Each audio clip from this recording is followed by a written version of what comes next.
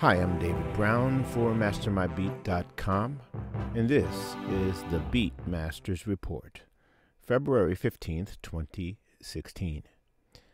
Based on the music that has been submitted to our mastering house over the past year, we are hearing a trend towards unfinished productions making their way to our studios.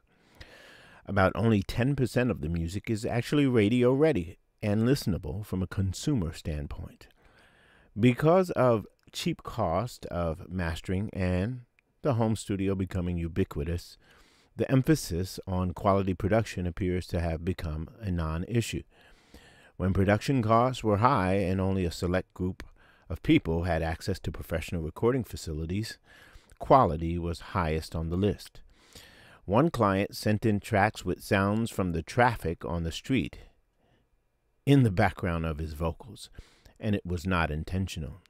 He asked me if we could just take that out.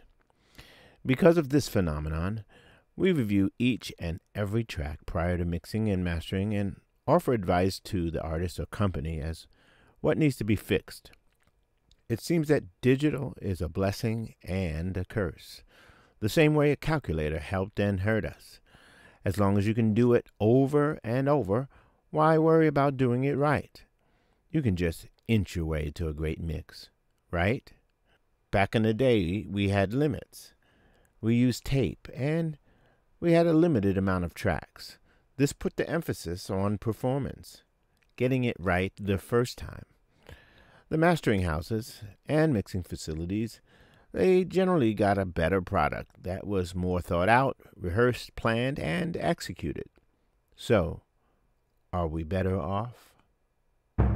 David Brown, MasterMyBeat.com.